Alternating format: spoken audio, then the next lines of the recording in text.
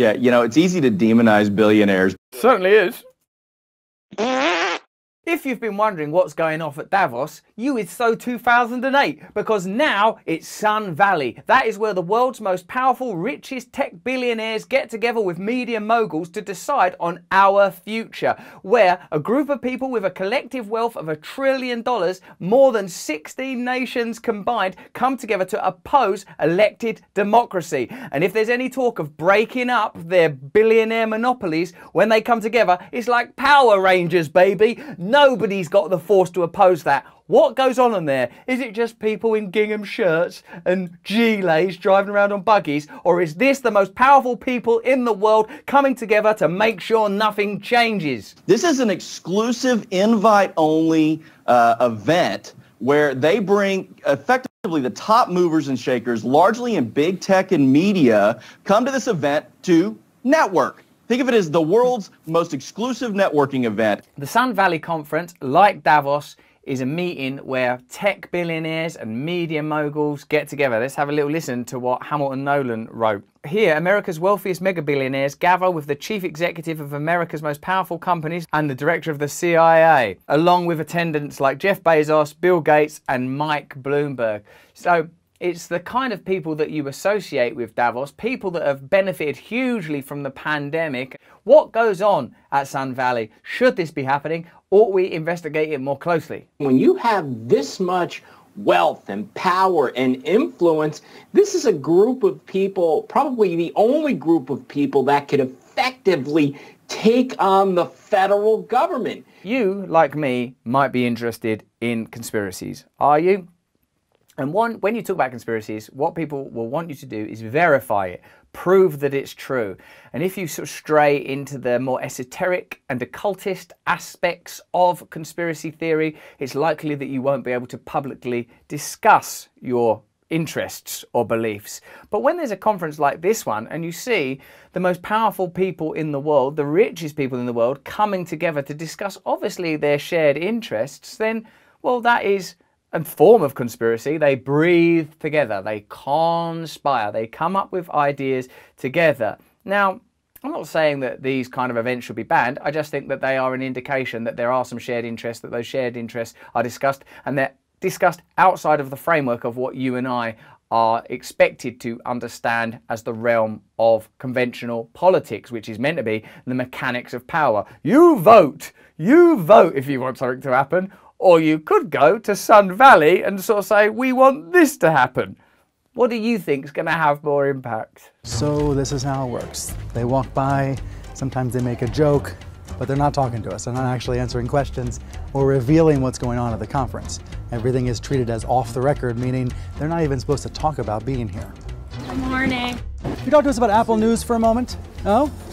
oh wow, God, I know all of these people from our great reset videos. There's people there from like their Facebook executives and Twitter executives and all sorts of powerful alphabet type mega billionaires. And maybe we don't need to speculate as to whether there's anything overtly nefarious. It's just enough to know that there's that much wealth, that many people coming together to collude, collaborate, and discuss how they can continue to advance their position. Because if it was truly about sort of humanitarianism and helping others, you just would start with this. Well, we'll always pay our taxes, we'll stop lobbying for more power, and perhaps we'll create some funds that do more than just move money around, but actually have some boots on the ground style impact on the lives of ordinary people. These executives are encouraged not to talk to people like me. They come here for the opposite reason to ditch their corporate suits and have some straight talk with their peers. Whatever they're plotting, I certainly don't know what it is yet. It also makes you realise that that show, Succession, really was good at emulating exactly what things look like. The episode where them dudes all get together looks exactly like this, right down to the kind of little puffer jacket gilets that they're all wearing. Let's remember the context this takes place in from uh, Hamilton's article there. 40 years of wage stagnation, rising inequality, and the nightmarish gigification of all aspects of economic life are not enough to prompt us to cast a wary glance at an annual confab of all the people responsible for creating the conditions that have made it impossible to work one job and retire with dignity.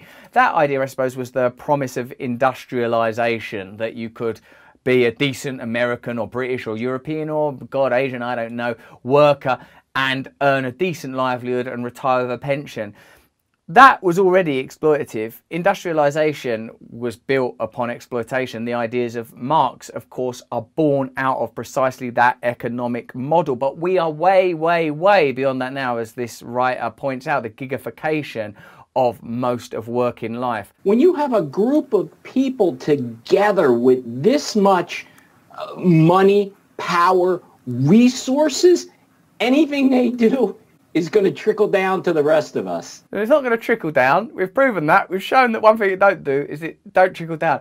It trickles up. We've heard a lot about, you know, breaking up big tech, right? It's been all over the news. And obviously these guys are going to be there. Do you think they'll be talking about this and how to not break up big tech? Should we talk about how you were going to break up our businesses? Oh no. Oh no, that wouldn't that would be anti-democratic. Let's just let's just enjoy Sun Valley. Let's just go on a tandem go on a golf buggy and enjoy these nice plants. Yeah, but like we wouldn't be able to come to Sun Valley, but shh, hush now. Let democracy take care of this these people that come together are trying to figure out how to come together and do bigger deals and merge and acquire, not be broken up. Likely that'll be on the forefront of minds. They're probably talking about which politicians may need a little extra campaign boost. I'm just smiling and laughing their way through corruption because I suppose over there at that media organisation it's accepted that this is just the way that the system operates. And even you and I, with our cynicism and our optimism of a bold, different future, we accept that this is just the way things are and the way things have always been as well. This group of people have an aggregate worth of a trillion dollars, maybe more. So the things that they're going to talk about and, and the deals that come out of this, I am sure will ultimately, in the long run, impact all of us. When you consider the vast amount of wealth and the positive impact that the pandemic has had on the collective wealth of these individuals, it's difficult not to imagine that they might want to create conditions that continue to benefit their wealth and their position. And that if that were negative for humanity as a whole, that might not be an obstacle. Because I've got to tell you that this kind of economics is not beneficial to the vast majority of people. It's sort of like a seesaw. For them to succeed, other people do because like, people say that no, oh, just for one person to succeed doesn't mean that other well it does when there are limited resources on a planet. It does when you don't pay taxes. It does when you lobby for certain kinds of legislation. It does when you concentrate centralize and accumulate wealth in an irresponsible manner particularly when many of the advances particularly in the case of the tech companies come from publicly funded endeavor we're told very particular stories. This Sun Valley conference, new Davos for a new era, perhaps because people now like, Davos, that's evil. Ixnay with the Davos! Sun Valley! See you at Sun Valley! We do a lot more than make raisins, baby! Like, it means that these new kind of groups, these new kind of, and this is the stuff that we can see on the news. God knows what goes on in secret if this is what happens visible for us all. Do you think that they're the ones that really do keep everything moving? I mean, they're the ones that get our packages to us within sometimes, you know, 12 to 15 hours. That's what it's come down to. Right, you're going to have to live a sort of life in a cell of idiocy and materialism, never contemplating the vast plains of bliss that lie within you. Mm, that does sound bad, but sorry, didn't I mention? Within 12 to 15 hours, you can have a package delivered. Oh, all right. Yeah, you know, it's easy to demonize billionaires. Certainly is. But we've all come to appreciate the, the life that they've created that we, and the conveniences they've created for all of us. No, they don't create. Look, stop saying that. They didn't create the life. That's not what happened. There's tax exemption. There's lobbying. There's all sorts of grants that are given to them. Watch the videos. They're all available for you below. The information is there. I, am trying to tell you. Why is it me that's being dragged off to the lunatic asylum? I could be at Sun Valley. I could go on the golf cart, couldn't I? I could join in with Twitter man and Facebook lady. Please, please. But nonetheless, I know there's a lot of attention given to things like the G7 summit. But as Dan just mentioned, perhaps this is the most important summit for our day-to-day lives as everyday Americans. G7, right. Shall we give out new bus passes to the older 65? Well, how about, I don't know, could we give him to him at 64? Meanwhile, over at Sun Valley, I'm going to fucking space with my baby brother in a rocket ship. Good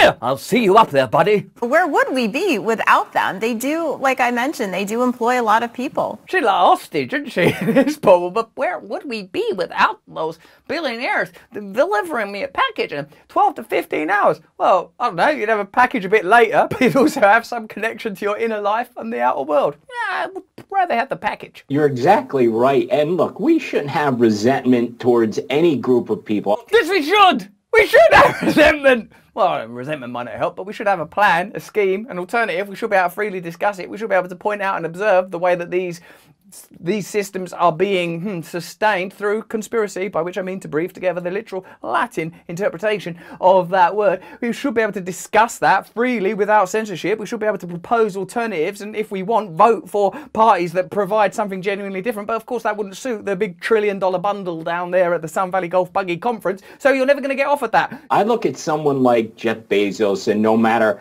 how rich he is or how much richer he got, let's say, during the pandemic, that doesn't bother me. Right, well, I suppose if the Sun Valley conference bothers you, like the Davos conference evidently did, and the Great Reset formerly once did, then this is a thing to pay attention to. I'm not saying that the mainstream media don't keep things out of the news that are important. I ain't saying that the government and the media don't lie to us.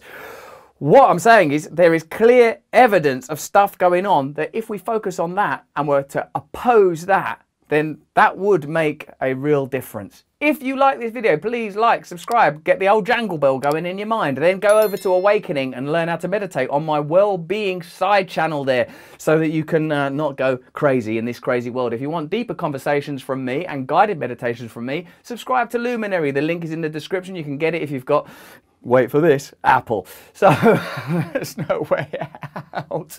Also, sign up to my mailing list over at russellbrand.com so we can stay in direct communication. And, you know, who knows what the future might hold. Hmm, stay with us.